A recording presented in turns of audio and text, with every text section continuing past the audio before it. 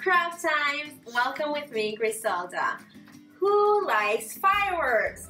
I do!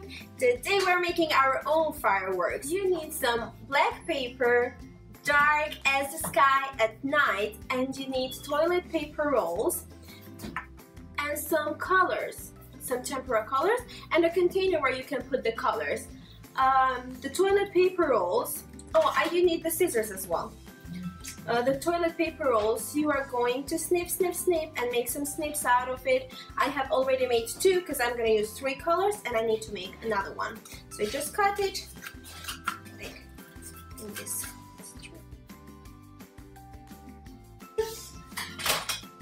And then after you have cut all like all the snips, right? Uh, after you have cut all the snips, you just have to do it like this so you spread them around. And now I'm gonna take the colors and pour them in the container. A, a tray container.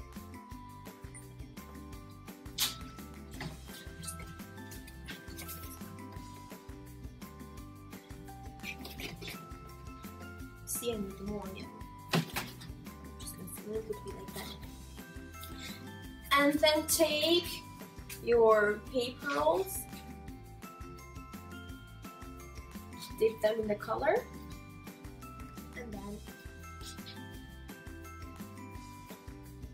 in the black paper. Just like that. I want some red, red. It's the color I see. You see red? And show it to you. It looks messy, but it's fun as well. Lots of colors.